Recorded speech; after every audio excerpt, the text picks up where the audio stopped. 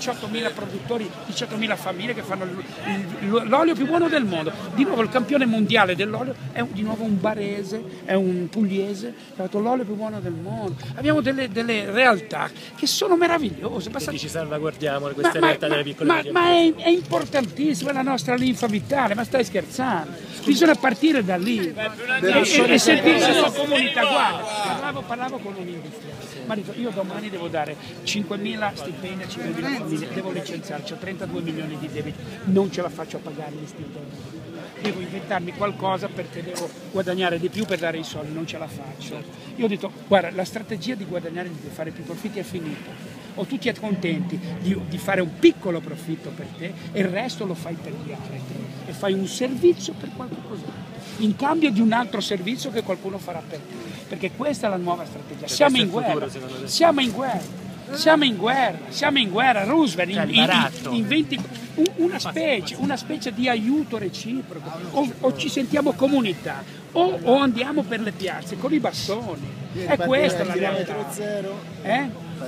Ma io sono andato, vado a parlare con i pescatori di Mazzara del Vallo, hanno le reti uguali ai pescatori della Svezia, della Danimarca, e là pescano il pesce grosso, loro pescano il gamberetto, poi non possono pescare il tonno perché arrivano i giapponesi, loro per legge non possono pescarlo perché c'è il fermo biologico, c'è il via di estinzione, poi arrivano le portaerei da pesca. Giapponesi e portano via tutto il tonno dalla Sicilia.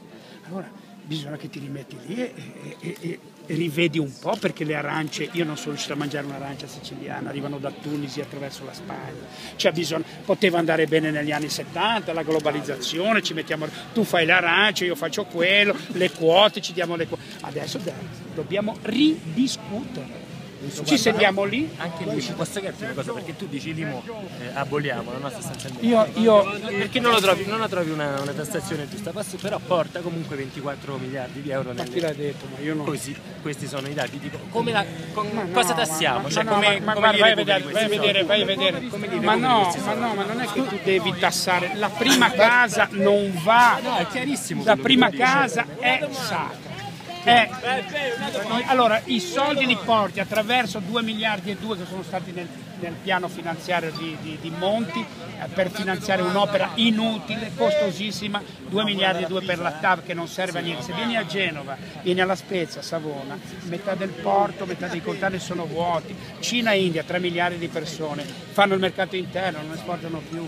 Abbiamo dei problemi, non arriva più merce. Noi facciamo una TAV da 20 miliardi per fare il corridoio 5 che non esiste, esiste nella mente paranoica. Cioè, tu dici in qualche modo si recuperano questi soldi? Ma, ma li recuperi negli armamenti, compriamo due sommergibili, compriamo eh, la caccia, non trovi i soldi per la scuola, ma sono balle, sono balle. Le, guarda, la, la, politica è semplice, lasciateci andare dentro con persone normali. Una, massa, una mano di famiglia che ha tirato su tre hanno reso complesso di economia, tutto ciò che è me, meglio di questi finanzieri da SAR che sono da strapparci, sono paranoici, sono gente che ha studiato su dei, su dei libri degli anni 70, non funzionano più. Quindi entriamo là dentro, massima trasparenza, ma io vorrei, cosa? Vorrei, vorrei, vorrei capire una cosa, sì. perché io tutte le volte che parlo, io sono 25 anni che parlo di economia, sì.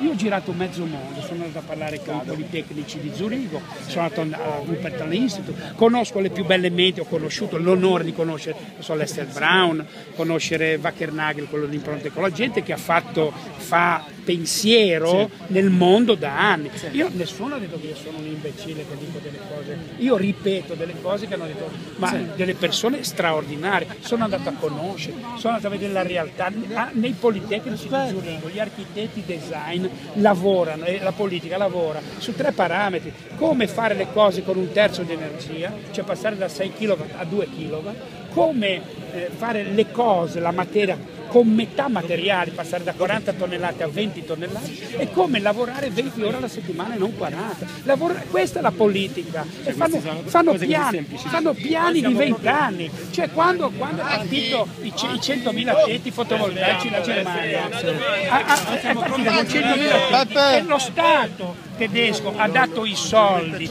tasso zero, prima rata rimborsabile dopo tre anni, hanno lo Stato, noi non abbiamo lo Stato. Cioè tu dici l'assenza dello Stato noi, che ci porta noi, a questo? Noi abbiamo delle